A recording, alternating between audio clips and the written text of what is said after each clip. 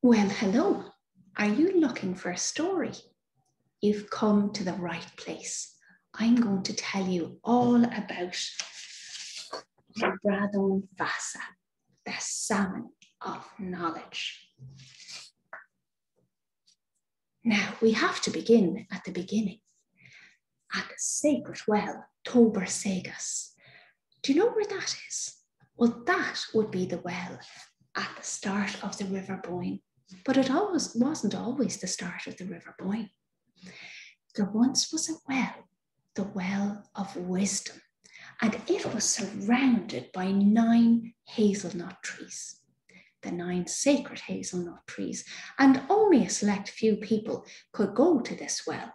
And they always took care to travel around the same direction of this as the sun around the well.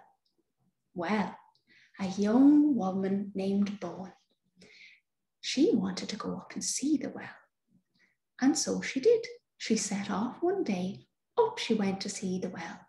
And when she got to the well, well, she decided to go about things her own way. And so she went in the opposite direction of the sun around the well.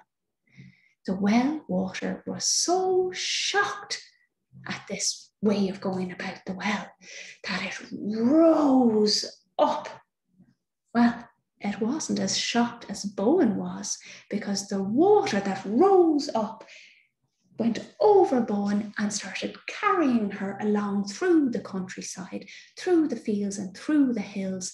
And everywhere they went, they were etching out a bed for the river Boyne, Awan Naboyne all the way out to the Irish Sea. Now, some would say that Boann was wrong to go about things her own way, but between you and I, her river still exists today, and you and I remember her name and her story because of it. Now, one day out in the self same Irish Sea, a salmon was swimming along, looking for a nice spot to lay her little um, fish eggs to spawn. And off she went up the river Boyne to look for this nice spot to lay her eggs. As she went up the river, she noticed a beautiful megalithic tomb, fabulous in the countryside, called Dowth. This looks like a good place, she said, and she kept on swimming. Then around the bend of the Boyne, Brú na Bóinne, beautiful, bigger structure came in front of her, and that was Sheed in Broga, Newgrange, with its magnificent white crystal walls. Well, now she knew that this river was not just a special river, it was a sacred river. So she kept on swimming up and all the way past Knowth, the other megalithic tomb on the bend of the Boyne, Brú na Bóinne. And up she went to Tobar Segais, the well of wisdom. It looked like a nice shady pool underneath the shade of the nine sacred hazelnut trees. And so she spawned her little fish. Now, the little fish growing up in this little pool, the well of say Tobar Segais, they used to love to munch on the hazelnuts that would fall into the well. Now, not just any hazelnuts. Remember, they're sacred hazelnuts from the nine hazelnut trees. And the more of these hazelnuts the little fish ate, the more speckles of brown they would have on their fins. Now, it was said that the fish that ate the most of these sacred hazelnuts would contain all the knowledge of the well and the sacred hazelnuts, and it would become the salmon of knowledge, the Bradán Feasa. And a famous druid, a poet and warrior, Finnegas, heard tell of this fish, the salmon of knowledge, on Bradán Feasa. And so he went to the side of the river Boyne, the river Boyne, and he decided that on top of everything he learned, he would fish this salmon and he would then know all there was to know in the whole world. Well, he spent day and night, year after year, searching for this fish and never caught sight of an Brad Fasa. So one day, when he was fishing, about seven years of fishing, Fionn McCool, the Fionn McCool, I hear you say, Yes, indeed. Fionn McCool, the famous warrior. But he wasn't a famous warrior at this point. He was still a young lad, probably about the same age as you are now. And he was sent to study with Finnegas the Druid so that he could learn all the poetry and all the, the knowledge that Finnegas had.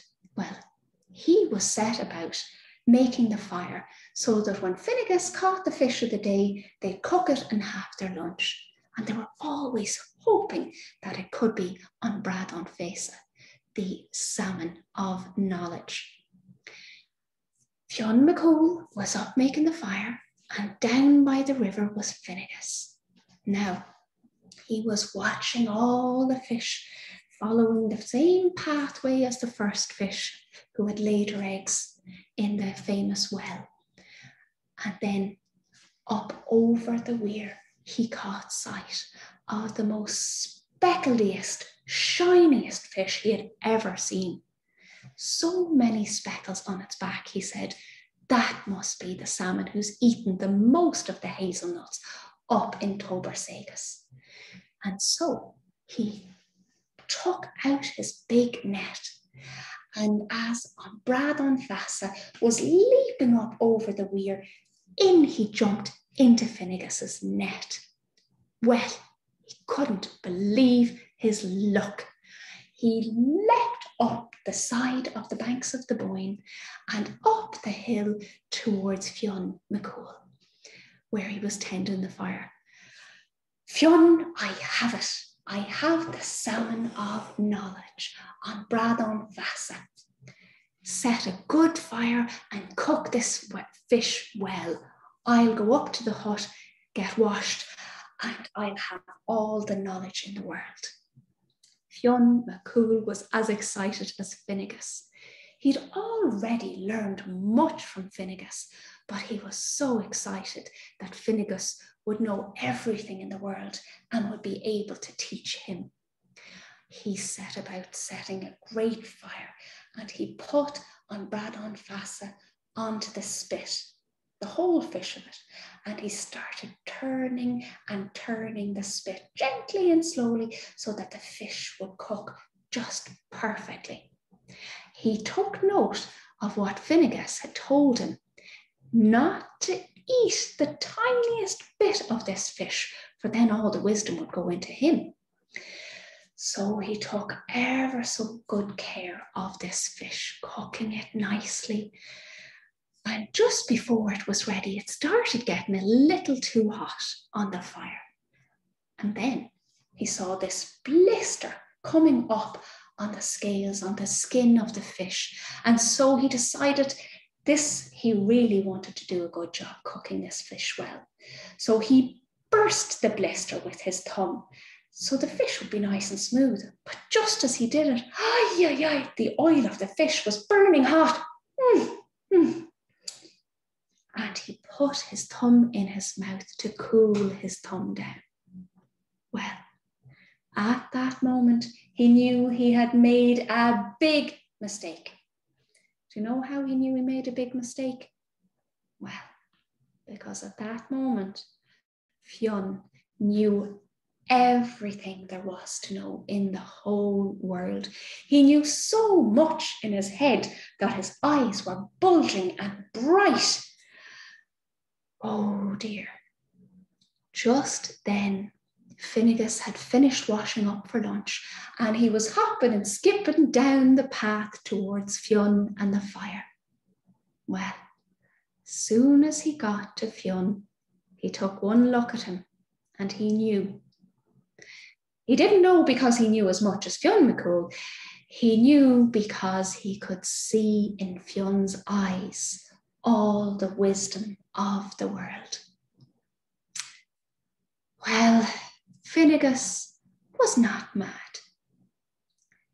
He knew that all the knowledge in the world didn't make you wise. Only experience did that.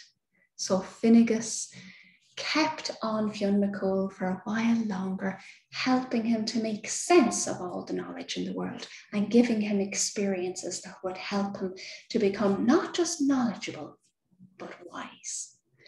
And so they worked together a little while longer until Fionn McCool went off to meet the Fianna, the most famous warriors of all of Ireland. But that, my friend, is a whole other story. That's it for tonight. I hope you rest well, and I hope one day, maybe on your plate for lunch or for dinner, you might have a bit of the Bradán Basa, the salmon of knowledge. Good night and rest well.